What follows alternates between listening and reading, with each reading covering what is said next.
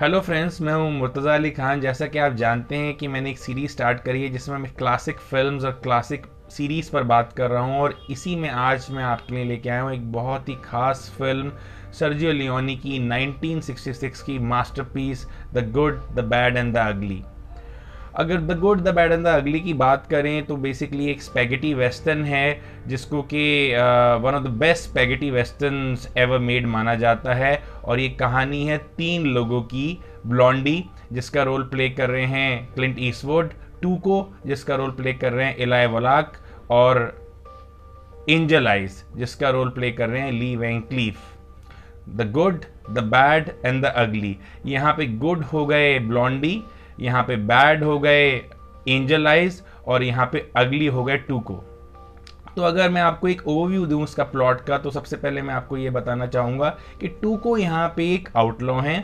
Blondie जो हैं basically एक बाउंटी हंटर हैं और जो एंजल आइज़ हैं, वो एक असैसिन हैं।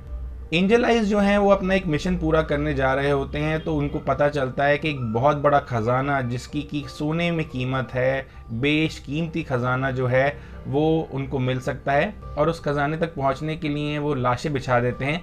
साथ ही साथ यहाँ टूको और ब्लॉन्डी के बीच में एक कमाल की अंडरस्टैंडिंग चल रही होती है, क्योंकि टूको के सर पे इनाम होता है तो ब्लॉन्डी अक्सर उनको पकड़ के अरेस्ट करवा देते हैं और अरेस्ट करवाने के बाद वही उनको छुड़वा भी देते हैं प्राइज मनी कलेक्ट करने के बाद। तो सबसे पहले हज़ार डॉलर उनके सर पर इनाम होता है, फिर जब पहली बार छुड़वाते हैं तो दो हज़ार डॉलर हो जाता है, फिर तीसरी बार तीन हज़ार डॉलर हो जाता है। लेकिन जब तीन डॉलर इनाम हो जाता है तो टूको कहीं ना कहीं फंस जाते हैं ब्लॉन्डी की एक चाल में, क्योंकि ब्लॉन्डी को रियलाइज़ हो जाता है कि तीन हज़ार डॉलर से ज़्यादा ये इनाम नहीं होने वाला। तो बीच रेगिस्तान में वो टूको को छोड़ देता है प्राइज मनी भी डिवाइड नहीं करता, पूरा का पूरा तीन हज़ार डॉलर रख लेता है अपने पास और बोलता है कि तुम जैसा आदमी अगर हिम्मत करेगा तो पहुँच ही जाएगा शहर, जो कि यहाँ से सत्तर किलोमीटर दूर है। अब जो टूको है, वो बदला लेना चाहता है। ब्लॉन्डी का किसी तरह से वो बच जाता है, शहर पहुँच जाता है और एक दिन ब्लॉन्डी उसके हत्ते चढ़ जाता है और ब्लॉन्डी को एक बहुत बड़ी सज़ा देता है। वो रेगिस्तान में उसको तपती धूप में सौ मील चलाता है, पैदल, बिना किसी पानी के, बिना किसी छतरी के, बिना किसी भी मदद के।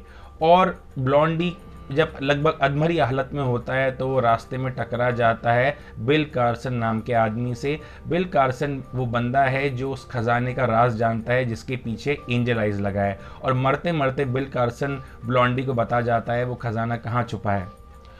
अब जब टूको को ये रियलाइज़ होता है कि ब्लॉन्डी को एक बहुत बड़े खजाने का रास पता है तो वो मजबूर हो जाता है ब्लॉन्डी को बचाने के लिए। ब्लॉन्डी उसे कहता है कि अगर तुम चाहते हो, तुम ज़िंदगी में इस तरह से गरीबी नहीं देखना चाहते और अमीर बनना चाहते हो तो तुम्हें मुझे बचाना पड़ेगा।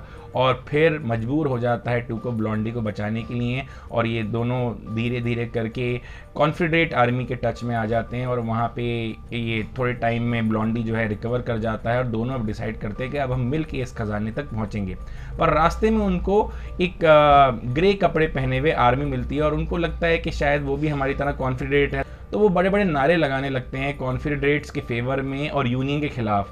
पता चलता है जो उनकी ड्रेस है, वो एक्चुअली में ग्रे नहीं, वो ब्लू है। वो डस्ट की वजह से ग्रे लग रही थी तो जब वो अपनी डस्ट झाड़ते हैं तो ब्लू कलर की ड्रेस हो जाती है। सरजी लियोनी यहाँ पे एक बहुत स्ट्रॉन्ग कॉमेंट्री करके बताना चाहते हैं कि बात ग्रे और ब्लू में नहीं है, फ़र्क ग्रे और ब्लू में नहीं है यूनियन और कॉन्फिडेंसी में कोई फ़र्क नहीं है।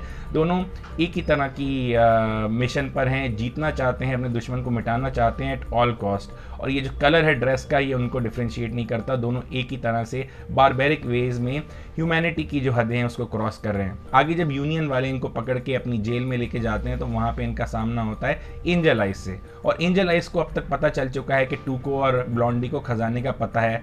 तो वो टूको को बहुत ज़्यादा टॉर्चर कराता है और पूरी तरह से तोड़ देता है। और जब वो ब्लॉन्डी के पास आता है तो ब्लॉन्डी उसके साथ डील कर लेता है कि, ठीक है, मुझे टॉर्चर वगैरह मत करो, मैं तुम्हारी मदद करूँगा खजाने तक पहुँचने में। यहाँ पे एंजल आइज़ और ब्लॉन्डी खजाने की तरफ़ आगे बढ़ने लगते हैं। वहाँ टूको किसी तरह से आज़ाद होने में कामयाब हो जाता है। वो जो यूनियन का सोल्जर जिसने उसको पकड़ा होता है, उसको वो मार देता है और ट्रेन के नीचे अपनी जो उसकी हथकड़ी है वो रख के उस हथकड़ी को तोड़ देता है और आज़ाद हो जाता है। तो अब ये तीनों आगे बढ़ रहे होते हैं और रास्ते में एक जगह जाके ये मिलते हैं और वहाँ पे इस फ़िल्म का बहुत ज़्यादा फ़ेमस ट्रोयल सीक्वेंस आता है। आपने डुएल के बारे में सुना ही होगा, जब दो लोग शो डाउन करते हैं, यहाँ पे ट्रोयल का सीक्वेंस है और ये इस फ़िल्म को खास बनाता है। क्वांटन टेनिटिनो कहते हैं कि एक वो मोमेंट है जो इसको एक मैजिकल लेवल पे लिफ्ट कर देता है। One of the best directed sequences है इस फ़िल्म का और ये फ़िल्म एलिवेट करता है इलियोनी की जो एक मास्टर स्टोरी टेलर की इमेज है, उसको स्टेब्लिश करता है। यहाँ पे लियोनी ने जिस तरह के क्लोजअप्स का यूज़ किया है सुपर क्लोजअप्स का यूज़ किया है कैमरा मूवमेंट्स का यूज़ किया है सर्जियो लियोनी का जो फ़ेमस कोलैबोरेशन है एनियो मोरिकॉन के साथ, उसकी म्यूज़िक की झलक हमें यहाँ दिखती है और किस तरह से वो कमाल के तरीके से वो मोन्टाजेस का यूज़ करते हुए इसको जो पूरे सीक्वेंस को बिल्ड करते हैं, जो टेंशन है इस सीक्वेंस में, वो आपकी साँसें रोक देती है। तो बहुत ही कमाल की एंडिंग है, बहुत ही एक्जिलेटिंग एंडिंग है। ये एंडिंग इतनी ज़्यादा सेटिस्फाइंग है कि जब आप घर जाते हैं तो आपको रियलाइज़ होता है कि आपने एक कंप्लीट जर्नी का एक्सपीरियंस किया है और प्रॉबली जो उसका ट्रोयल सीक्वेंस है, जो उसकी एंडिंग है और जो बहुत ही कमाल की जो स्टोरी टेलिंग है सरजो लियोनी की, वो इस फ़िल्म को कमाल का बनाता है। अब देखिए अलग अलग कैरेक्टर्स के बीच में किस तरह के एक्सचेंजेस होते रहते हैं, उनकी केमिस्ट्री जो है एवर इवॉल्विंग है। स्टोरी टेलिंग की ब्रिलियंस इसमें दिखती है। आज तो हम लॉन्ग फॉर्म स्टोरी टेलिंग का लुत्फ उठाते ही हम देखते हैं कैसे कैसे कैरेक्टर्स को डेवलप किया जाता है। पर सिनेमा में स्टोरी टेलिंग का पोटेंशियल कैरेक्टर डेवलपमेंट का पोटेंशियल जो है I think good the bad and the ugly जैसी फ़िल्म बहुत शानदार तरीके से दिखाती है। ये एक फ़िल्म एपिक है, ये मास्टर है और सर्जियो लियोनी की one of the greatest film है। The good the bad and the ugly एक स्पेगेटी वेस्टर्न मानी जाती है और one of the best spaghetti western मानी जाती है। स्पेगेटी वेस्टर्न की बात करें तो वेस्टर्न का एक सब जॉनरा है। उस ज़माने का जो अमेरिकन ओल्ड वेस्ट था। जी हाँ मैं बात कर रहा हूँ लेट नाइनटीन सेंचुरी और अर्ली ट्वेंटी सेंचुरी अमेरिका की जहाँ पे फ्रंटियर्स में उस ज़माने में बहुत बड़े बड़े कमाल के आउटलॉज हुआ करते थे बाउंटी हंटर्स हुआ करते थे जिनके बारे में बड़े बड़े लेजेंड्स लिखे गए हैं जो मिथ और फैक्ट को डिवाइड कर देते हैं, जिनके बारे में कुछ लोग कहते हैं कि शायद वो सबसे बड़े हीरो हैं, कुछ लोग उनको विलन मानते हैं, कुछ लोग उनको आउटलॉ कहते हैं, कुछ लोग उनकी पूजा करते हैं। स्पेगेटी वेस्टर्न उन फिल्म्स पे लागू होता था जो यूरोप में बना करती थी मिड नाइनटीन में। और मोस्टली इनकी शूटिंग होती थी स्पेनिश डेजर्ट में और लोकल एक्टर्स यूज़ करती थी यूरोप में। कुछ अमेरिकन जाने मानी एक्टर्स भी इसके साथ एसोसिएटेड थे क्लिंट ईस्टवुड ली वैंकलीव इलाई वोलाग जैसे। पर ज़्यादातर ये जो लोकल एक्टर्स हैं, उनको ही यूज़ करती थी इटली से। स्पेन से भी एक्टर्स यूज़ होते थे। उनके हार्ड एंड फेसेस के लिए बहुत ज़्यादा रियलिस्टिक टच के लिए अक्सर यूज़ किया जाता था। पर अगर spaghetti western as a genre की पॉपुलैरिटी की बात करें तो इसकी क्रेडिट जाता है सरजी लियोनी और उनकी film a fistful of dollars को। फिस फुल ऑफ़ डॉलर्स की बॉक्स ऑफ़िस सक्सेस और उसकी पॉपुलैरिटी की वजह से और भी इटालियन फ़िल्म मेकर्स आगे आए या यूरोप में और जगह भी फ़िल्म मेकर्स आगे आए और उन्होंने इस तरह की वेस्टर्न बनानी शुरू करी और यहाँ पे जो आइडियल्स थे, उन आइडियल्स पे फ्लिप किया। अगर अमेरिकन ओल्ड वेस्ट की बात करें तो वहाँ पे कुछ मिथ्स होती थी, कुछ हीरो को लेके अंडरस्टैंडिंग होती थी, कुछ विलन को लेके अंडरस्टैंडिंग होती थी, जो डार्क है और जो वाइट है, वो बहुत क्लियरली दिख जाता था। हीरो गुड था और जो विलन था, वो बैड था। पर इन वेस्टर्न्स ने थोड़ा सा उसको फ्लिप किया। अब गुड और बैड के बीच की लाइन जो थी वो फेड होने लगी और ग्रे का इंट्रोडक्शन हुआ। अब हमें बहुत ही ज़्यादा डार्क थीम्स और मोटिव्स के साथ इंट्रोडक्शन हुआ हमारा और हमें बहुत ही डार्कर कैरेक्टर्स हमें देखने लगे। इतने डार्क कैरेक्टर्स जो कभी हमने क्लासिक वेस्टर्न्स में ओल्ड वेस्ट के साथ कभी एसोसिएट ही नहीं करे थे।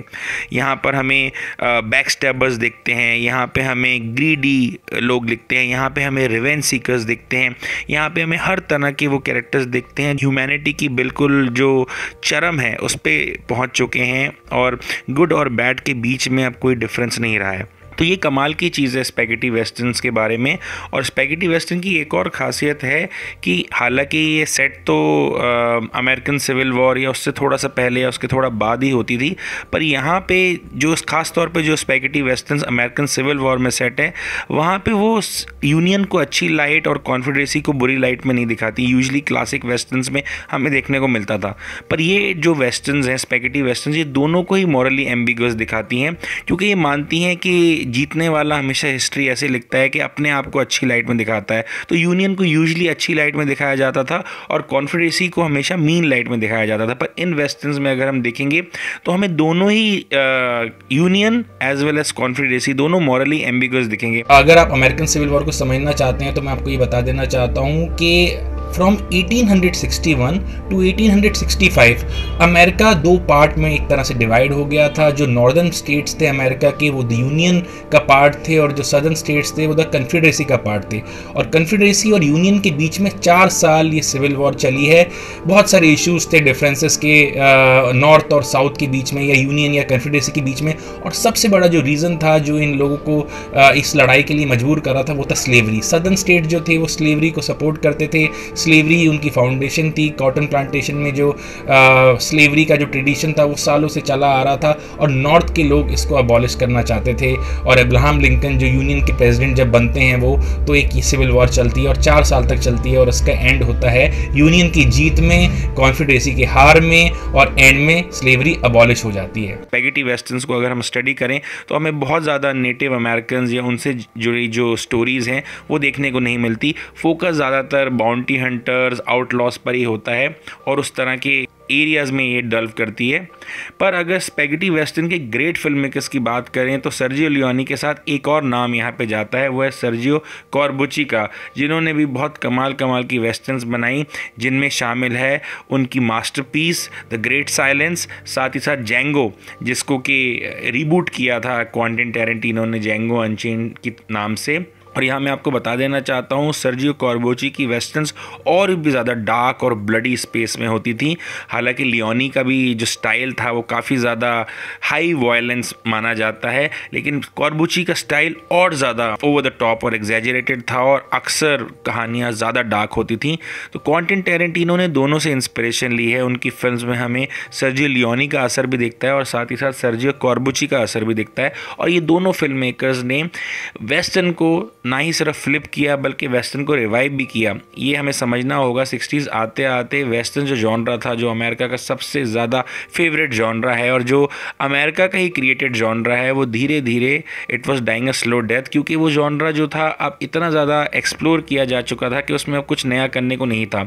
और ओवर द ईयर्स लोगों के अंदर सिनेसिज्म आ रहा था नेगेटिविटी आ रही थी, और अलग अलग तरह की प्रॉब्लम्स का उनको सामना करना पड़ रहा था। तो यहाँ पर हमें समझना पड़ेगा, ये डार्कर थीम्स जब स्पेगेटी वेस्टर्न लेके आई तो इसने कहीं ना कहीं वेस्टर्न जॉनरा को रिवाइव किया। हालाँकि जब ये स्पेगेटी वेस्टर्न आई तो जो अमेरिकन थे, वो इसका मज़ाक उड़ाया करते थे। स्पेगेटी वर्ड भी डेरोगेटरी टर्म में यूज़ होता था कि मतलब स्टैंडर्ड जिस भी वेस्टर्न का उतना नहीं है, क्योंकि ये लो बजट फ़िल्म हुआ करती थी। हॉलीवुड के बजट को कम्पीट नहीं कर पाती थी तो ये स्पेगेटी टर्म एक चीप वेस्टर्न है, ये दिखाने के लिए यूज़ होता था। पर कमाल की बात यह है कि स्पेगेटी वेस्टर्न ने वेस्टर्न जॉनरा को मरने से बचा लिया, और स्पेगेटी वेस्टर्न की वजह से ही रिविजनेस वेस्टर्न का जन्म हुआ और रिविजनिस वेस्टर्न्स की अगर अब बात करें तो सैम पेकिनपा की द वाइल्ड बंच हमें याद आती है या Pat Garrett Billy the Kid याद आती है। और इस तरह की बहुत कमाल कमाल की फ़िल्में आगे जाके क्लिंट ईस्टवुड ने भी बनाई। तो ये सारी जो रिविजनिस वेस्टर्न्स हैं समवेयर ये पॉसिबल इसीलिए हुई क्योंकि सर्जियो लियोनी कॉर्बोची और बाकी बहुत सारे फ़िल्म मेकर्स ने स्पेगेटी वेस्टर्न को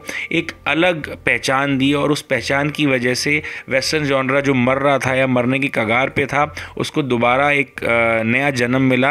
रिविजनस वेस्टर्न्स के फॉर्म में। अगर मैं स्पेगेटी वेस्टर्न्स की बात करूँ तो स्पेगेटी वेस्टर्न्स में लियोनी और कॉर्बुची का सबसे बड़ा नाम है। अगर हम लियोनी की बात करें तो इनकी डॉलर स्ट्रिलजी जिसका पहला पार्ट है fistful of dollar second part है for a few dollars more और उसका थर्ड पार्ट है the good the bad and the ugly और good the bad and the ugly probably greatest spaghetti western भी है, बहुत ज़्यादा कॉम्प्लेक्स है, अगर हम इसको बाकी स्पेगेटी वेस्टर्न से कंपेयर करें, इसका जो नरेटिव है, इसका जो प्लॉट है, इसकी जो कैरेक्टर डेवलपमेंट है, इसमें जो म्यूज़िक यूज़ हुआ है, इसमें जिस तरह की सिनेमाटोग्राफी यूज़ हुई है, जिसमें जिस तरह की एडिटिंग टेक्निक्स यूज़ करी हैं सुपर क्लोजअप्स यूज़ किए हैं पैन शॉट्स यूज़ किए हैं वाइड एंगल शॉट्स यूज़ किए हैं, ये इस फ़िल्म को कमाल का बनाता है और सर्जी लियोनी की मास्टरपीस है अनडाउटेडली ये परफॉर्मेंसेस के लिए भी जानी जाती है। क्लिंट ईस्टवुड का जो मैन विद नो नेम का जो कैरेक्टर है, उसका ये एक ग्रैंड कंप्लीशन है। इसके बाद कभी भी क्लिंट ईस्टवुड ने लियोनी के साथ काम नहीं किया, लेकिन उनका जो कैरेक्टर है, ये इमोटलाइज हो गया।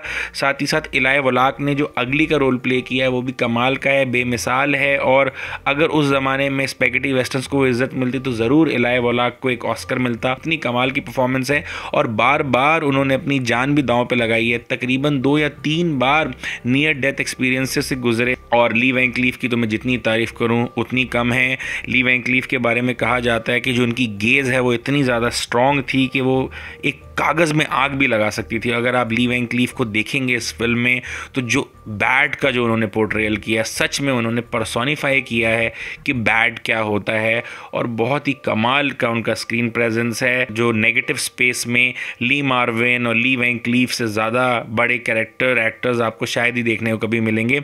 और good the bad and the ugly I think probably उनका बेस्ट वर्क है। हर बार जब भी वो स्क्रीन पर आते हैं तो कहीं ना कहीं आपको एक डर सा ज़रूर सताता है और आपको लगता है कि, अरे, इस बार कौन है उनका शिकार? Good the bad and the ugly एक बहुत ही महान स्पेगेटी वेस्टर्न है और आई थिंक आज के टाइम में सिर्फ़ इसको ग्रेट स्पेगेटी वेस्टर्न ही नहीं कहा जाता। एक ग्रेट वेस्टर्न्स में इसका शुमार है। इनफैक्ट अगर किसी भी जगह जाएँगे और ऑल टाइम ग्रेट वेस्टर्न्स की लिस्ट देखेंगे तो आपको उसमें good the bad and the ugly inevitably दिखेगी दिखेगी। इतनी ज़्यादा ग्रेट फ़िल्म है ये। अगर good the bad and the ugly की बात की जाए और एनियो मोरिकोनी के कमाल के स्कोर की बात ना की जाए तो शायद कोई भी रिव्यू कोई भी एनालिसिस अधूरा रह जाएगा। Good the bad and the ugly को good the bad and the ugly की ब्रिलियंस जो है, उसके साथ सिनोनिमस है। ये फ़ेमस बैकग्राउंड म्यूज़िक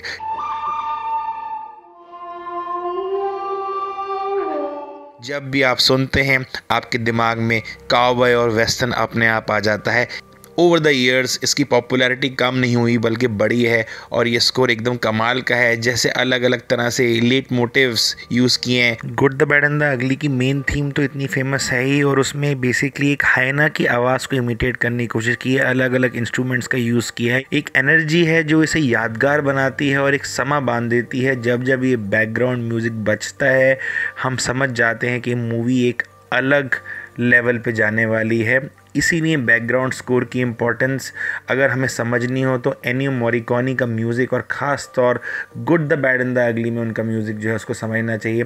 इसमें एक और मेरी फेवरेट थीम है जिसके बारे में मैं स्पेशल मेंशन करना चाहूँगा। उस थीम का नाम है एक्सटेसी ऑफ़ गोल्ड जब टू को पहुँचता है ग्रेव में और अब उसको पता है कि ख़जाना आसपास है और एक कमाल का बैकग्राउंड म्यूज़िक बचता है और जब वो पूरा उसका चक्कर ले रहा है और वो बौखलाया हुआ है कि कौन सी वो ग्रेव है तो एक्सटेसी ऑफ़ गोल्ड जब बैकग्राउंड में प्ले होता है तो आप अपनी इमोशंस को आप एक थ्रिल और एक्साइटमेंट को रोक नहीं पाते और पूरी की पूरी आपकी बॉडी इसके साथ, इसके गिरफ्त में आ जाती है। और ब्रिज ब्लो करने का जो सीन है, बहुत इंटरेस्टिंग कहानी है इसके साथ जुड़ी हुई। एक्चुअली में ये आर्मी ने ब्रिज बिल्ड किया था और जब पहली बार ब्रिज ब्लो होता है तो जो कैमरा पर्सन है, किसी मिसकम्युनिकेशन की वजह से कैमरा रोल करना भूल जाते हैं। तो पूरा ब्रिज ब्लो हो जाता है, पर वो कैमरे पे कैप्चर नहीं होता। सर्जी लियोनी बहुत नाराज़ होते हैं और उस कैमरा पर्सन को फायर कर देते हैं, पर जो आर्मी वाले हैं, वो बोलते हैं कि आप इसको फायर मत कीजिए। लीजिए, आप इसको दोबारा रख लीजिए और हम ये ब्रिज आपके लिए दोबारा बना देंगे। वो ब्रिज दोबारा बनाया जाता है और वो ब्रिज दोबारा ब्लो किया जाता है और इस बार वो कैमरे पे कैप्चर होता है। और बहुत ही इंप्रेसिव सीन हैं इंप्रेसिव विजुअल्स है और जब आपको पता चलता है कि एक रियल ब्रिज है तो उसको और ज़्यादा एलिवेट कर देता है सीक्वेंस तो ये थी मेरी आज की पेशकश आपके लिए। बहुत जल्दी हाजिर होऊँगा एक और क्लासिक के साथ। मेरे यूट्यूब चैनल को सब्सक्राइब करना मत भूलिएगा और बेल आइकन को ज़रूर क्लिक कीजिएगा ताकि मेरे वीडियो सबसे पहले आपके इनबॉक्स में आए।